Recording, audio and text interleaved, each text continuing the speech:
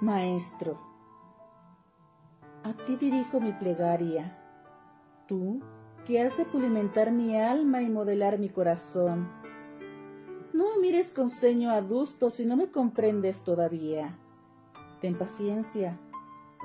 No siempre reprima tu gesto mis impulsos. No atiborres mi débil inteligencia con nociones superfluas. Enséñame lo útil, lo verdadero, lo bello, que mis ojos aprendan a ver y mi alma a sentir.